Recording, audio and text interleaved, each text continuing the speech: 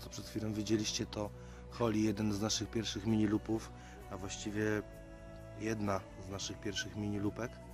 E, mamy już ją od jakiegoś tam czasu. Teraz jest w trakcie budowy gniazda. Prawdopodobnie w nim będzie e, wykot małych. E, którego tutaj widzicie obok, e, to Oreo, samiec, ale e, nie jest, on, on nie jest ojcem, ojcem dzieci, które się w niedługiej przyszłości urodzą. Jest, jest samczyk, jest zupełnie inny, pokażemy go. A w tej chwili e, pokazujemy dalej budowę, budowę nory lub gniazda, jak kto woli.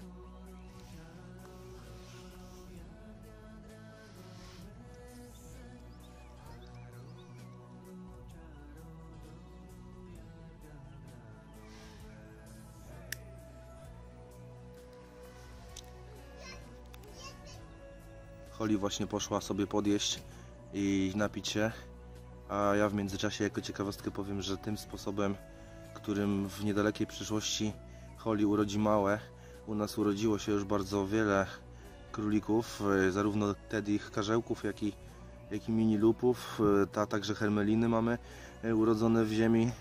Mamy bardzo dużo materiału odnośnie tego, ale materiał wymaga obrobienia, co zajmuje bardzo wiele czasu.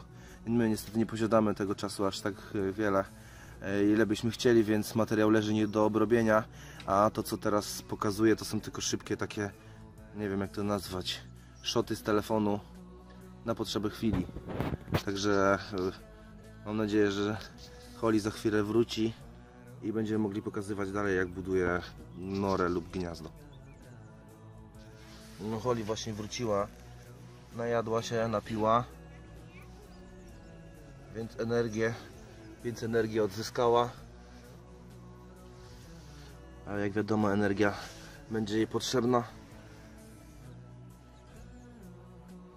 bo budowa gniazda w naturze nie ogranicza się do zbierania słomy i noszenia jej w pysku w jedno miejsce i skubania się, ale potrzebne jest też no, zrobienie tego miejsca, odpowiedniego wykopu.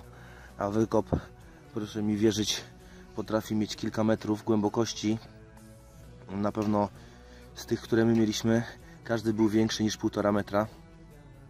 Głębszy, dokładniej mówiąc. Więc, więc proszę sobie wyobrazić, jaki wysiłek musi taki królik wykonać, żeby, żeby wy- wybudować, wykopać taką norę.